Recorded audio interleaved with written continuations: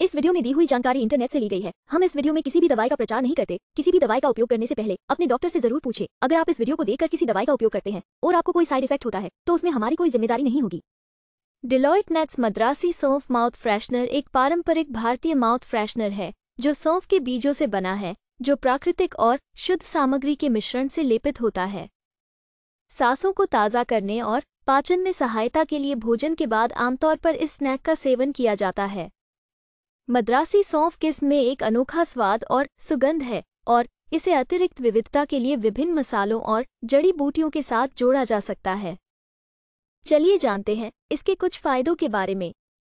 एक, माना जाता है कि सौंफ या सौंफ के बीज में पाचन गुण होते हैं और बेहतर पाचन के लिए भोजन के बाद इसका सेवन किया जा सकता है।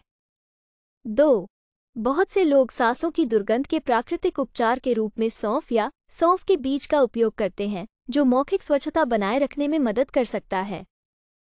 तीन, सौंफ या सौंफ के बीज अपने आराम देने वाले गुणों के लिए जाने जाते हैं और चिंता और तनाव को कम करने में मदद कर सकते हैं।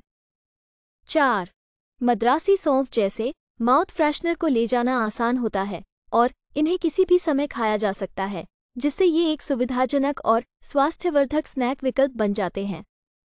वीडियो को पूरा देखने के लिए धन्यवाद। अगर आपको वीडियो अच्छी लगी हो तो वीडियो को ज़रूर लाइक करें। साथ ही हमारे चैनल को सब्सक्राइब करके, नोटिफिकेशन बेल को और नोटिफिकेशन पर सेट करें।